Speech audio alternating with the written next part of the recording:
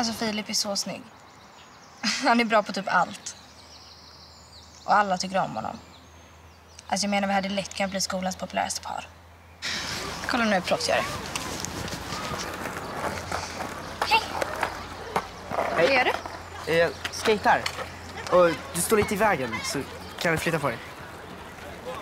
Tack.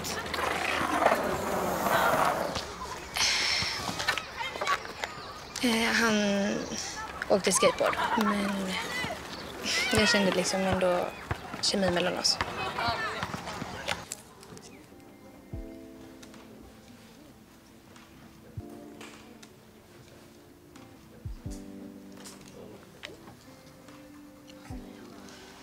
Eh, vad är det som händer?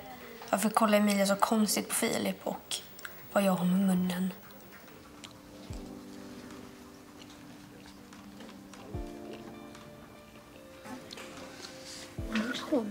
Tyst. Vega har gett mig tips hur det kommer funka.